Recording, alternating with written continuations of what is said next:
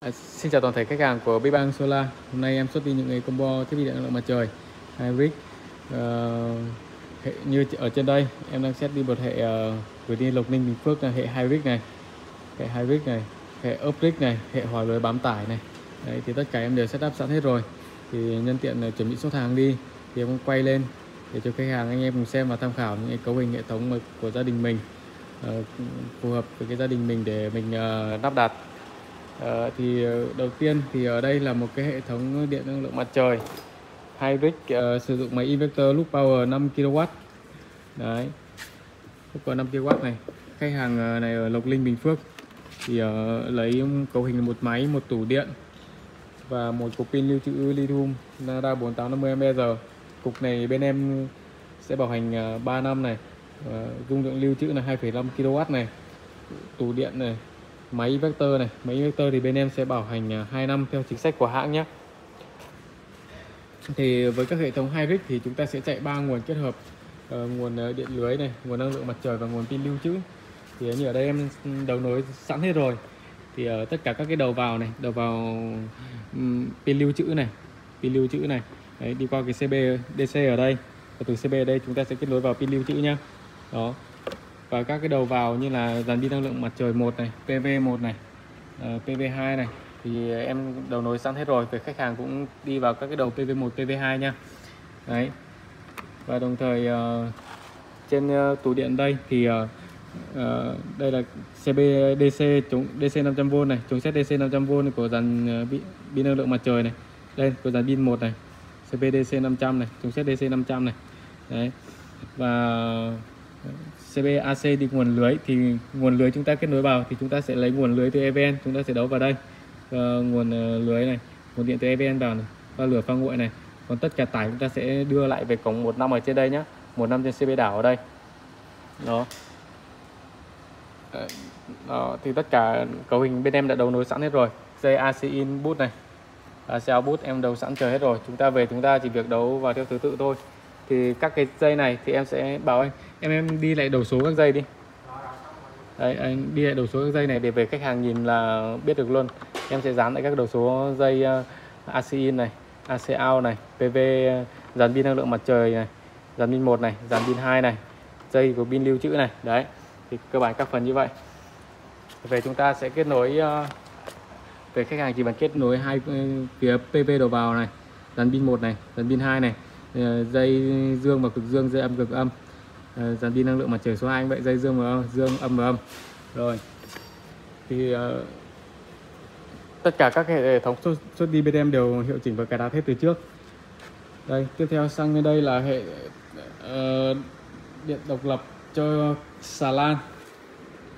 Cho xà lan đây chạy 3 kW tấm pin năng lượng mặt trời này với ba cục pin lưu trữ lithium Narada 48V 50Ah một cục này là lưu ờ, hai kg rưỡi ba cục là tổng 7 kg rưỡi nhé đấy với cái cấu hình điện năng lượng mặt trời ở trên xà lan chúng ta lắp 3 kW tấm pin năng lượng mặt trời thì sẽ cho chúng ta một ngày bình quân ờ, sẽ cho chúng ta thu lại được loanh quanh 12 đến 15 số điện. Đấy 12 đến 15 số điện thì ờ, loanh quanh 5 đến 7 số điện thì chúng ta dùng ban ngày. Còn 5 đến 7 số điện thì chúng ta sạc ban ngày dư tấm pin năng lượng dư dùng không hết nó sạc vào vào pin lưu trữ. Và đêm chúng ta sẽ lấy ra chúng ta dùng nha đấy thì cấu hình đầu nối cũng khá là đơn giản. À, thì uh, tất cả các cục pin chúng ta sẽ đấu song song này với nhau này.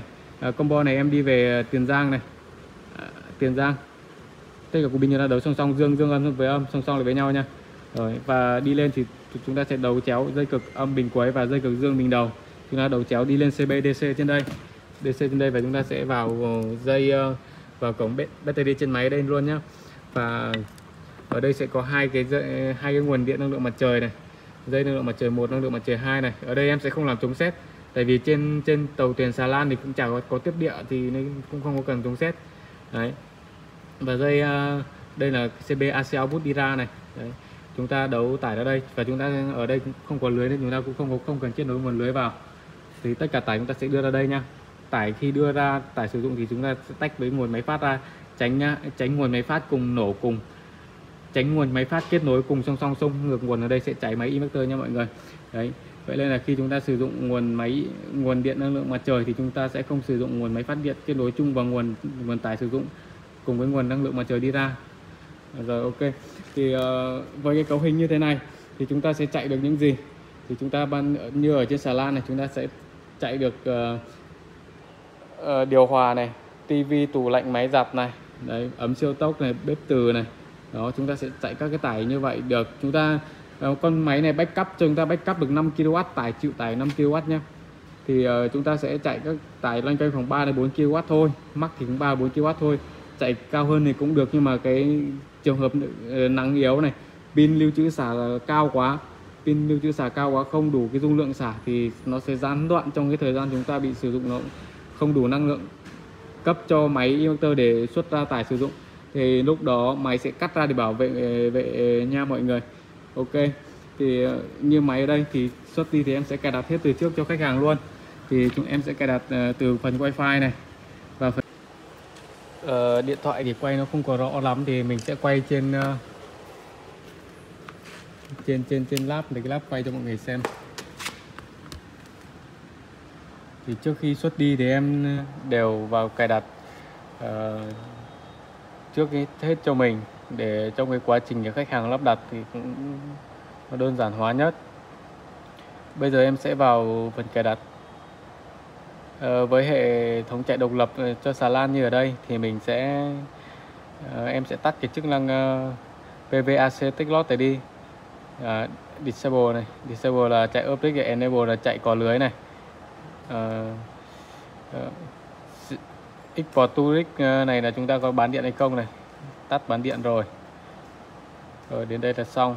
Ở đây xét dòng sạc thì mình ờ, ba cục pin lưu trữ đây thì uh, bình thường chúng ta xét 30 A thôi nhé 50 chúng ta xét 30 A ba cục thì 30 A thì như ở đây thì hệ độc lập em sẽ mình sẽ để cái dòng cao hơn một chút. Để cho nó lấy năng lượng tối ưu hơn. Để uh, ban đêm chúng ta sẽ xả được nhiều hơn. À, sẽ trả cái chúng ta disable đi tại vì chúng ta không có kết nối điện lưới ở đây.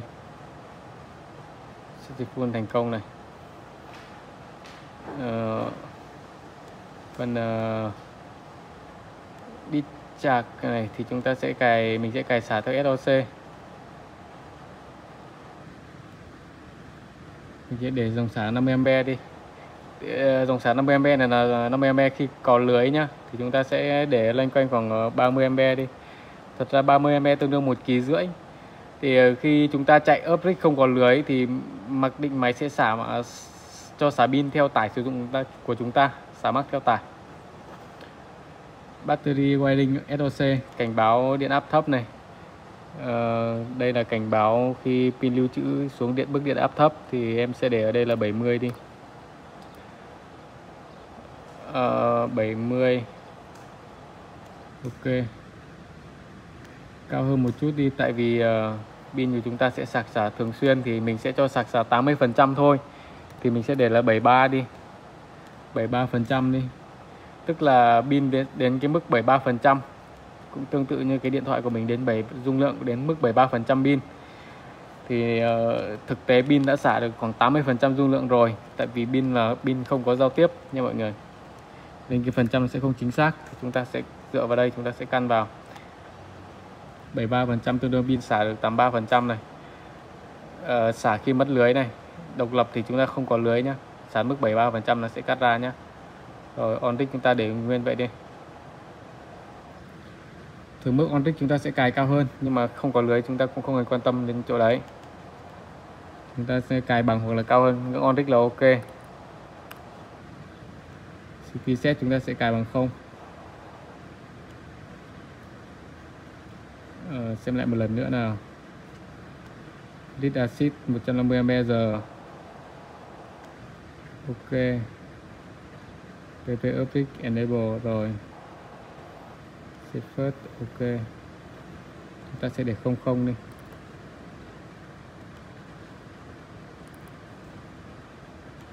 Phần Asifert là ưu tiên năng lượng mặt trời sạc lưu trữ trước, dư thì với cấp tải. Thì với các hệ độc lập thì chúng ta cũng sẽ không cần cài phần này vì năng ờ, chúng ta sẽ hai nguồn năng lượng mặt trời pin lưu trữ sẽ bù trừ liên tục. Trường hợp khi bức xạ nắng yếu thì nó tải cao hơn bức cái lượng bức xạ nắng yếu và tấm pin cho ra thì nó sẽ tự rút từ bình lên. Nhưng mà tải mà thấp hơn năng lượng mặt trời cho ra thì năng lượng mặt trời sẽ lại sạc và lưu trữ. Đó, ok. Thì đây là một cái những cái hệ một trong những hệ mình xuất đi thì mình sẽ đều cài đặt tại hết từ trước. Khách hàng về chỉ việc đầu nối vào thôi. Đầu nối ra tải này đầu nối tấm pin năng lượng mặt trời vào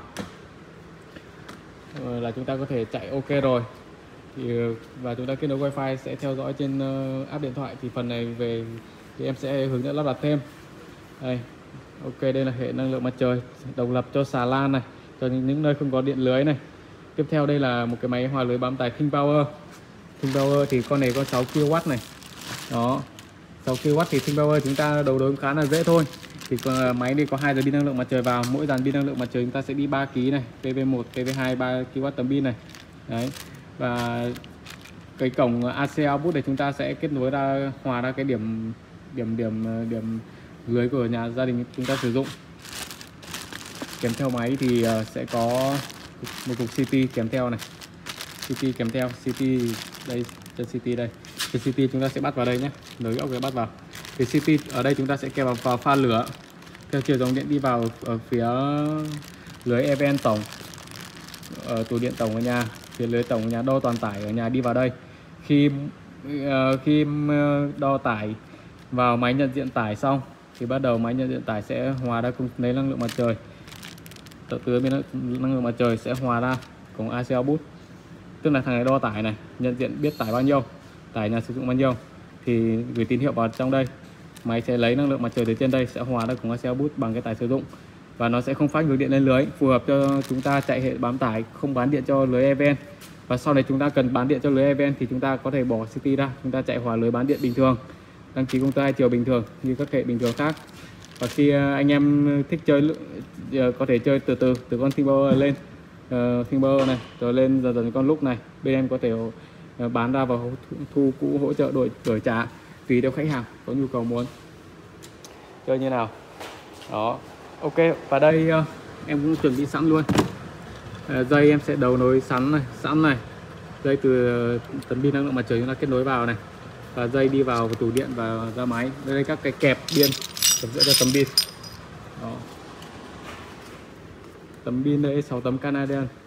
Canadian thì em để ở ngoài kia. Ok. Thì uh, anh em có nhu cầu mua hàng thì liên hệ đến, đến số điện thoại Zalo em để trên màn hình nhé rồi xin chào cả anh em.